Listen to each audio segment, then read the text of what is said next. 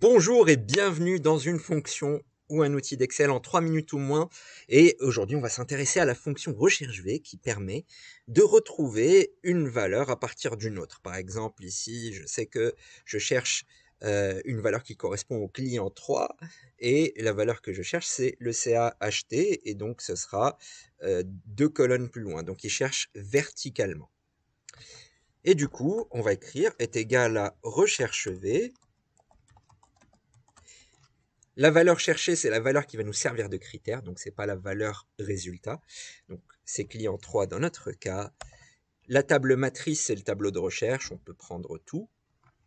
On va le figer, euh, alors même si là il n'y a pas besoin, c'est un bon réflexe à avoir parce que dans la fonction recherche V, eh bien euh, je ne connais pas trop de cas où on ne fiche pas la table matrice.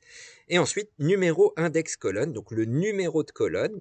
Donc dans le tableau que je viens de sélectionner en rouge, euh, de B3 à D12, la valeur résultat que je cherche, elle est dans la troisième colonne, si je les compte.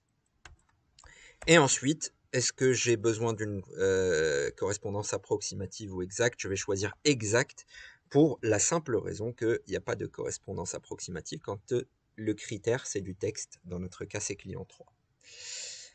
Une fois que c'est fait, on peut valider et on obtient bien 89 333 euros pour le client 3. Et puis si je change, euh, mettons client 7, eh bien ça va changer aussi le résultat.